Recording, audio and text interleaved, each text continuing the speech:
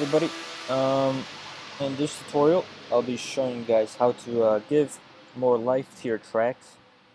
Um, kind of not make it seem as if it's so empty. Um, I'm gonna try and make this real quick.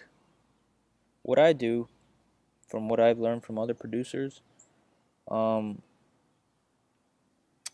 I added a uh, return track. And this is the um, I sent the um, I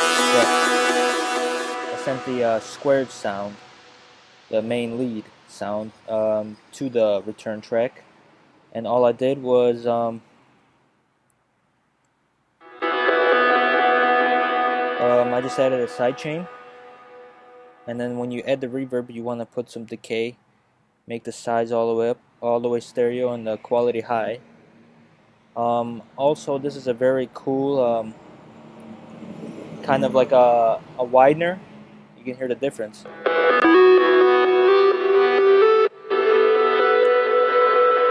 Um, it just makes things uh, really wide and not um, in the stereo. it makes it in the stereo field so it's not interfering with anything else. Basically, it's like in its own place. Um, I just compressed it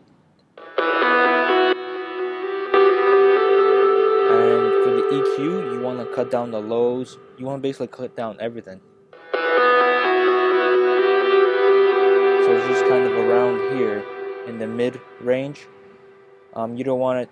You don't want anything in the lows because it'll just muddy up the mix, and especially in the highs, it'll um, it'll kind of pierce through the speakers, and it's just a really, it's not a pleasant sound.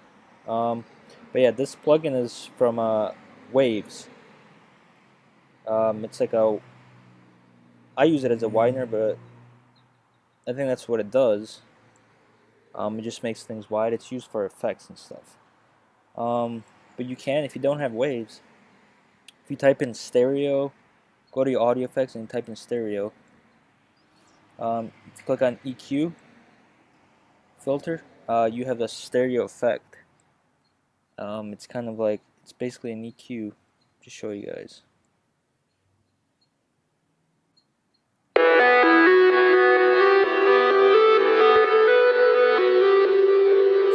Same thing, but you do have to kind of. I should put here.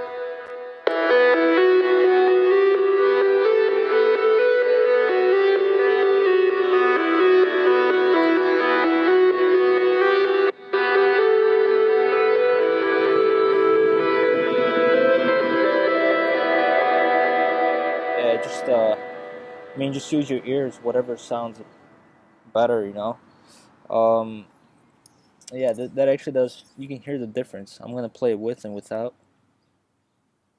Uh, let me just turn this off.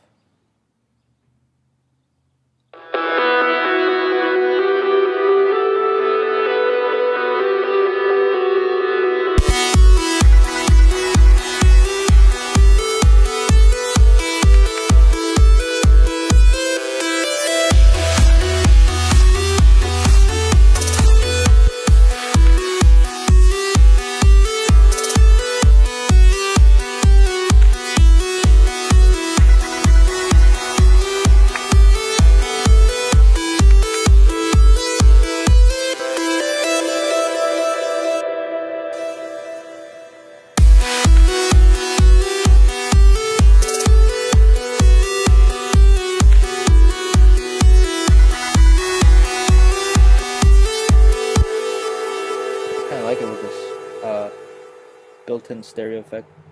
Yeah, I'm just gonna tweak with it. So basically, make a return track, send uh, whatever. Um, for example, I did a main lead. Usually, want to do some kind of main lead, or if you have a bass sound, like uh, if you're doing like a like a revealed recording, a Hardwell style, kind of like bass, make it really wide. You can use that as well. Just mess with it. So just added a sidechain, the reverb, and then you can use um, I'm gonna probably keep both. Just mess with it a little bit more. Um, you can use the stereo effect. This one actually does a really good job. And make sure to EQ everything down. This is how it sounds without the EQ. Oh, sorry about that. So, I mean, that's about it. I uh, hope you guys enjoyed it. Make sure to subscribe. Um, like us on Facebook. And stay tuned. And uh, we'll have more tutorials, project files, and uh, new things coming on. So, see you guys next time.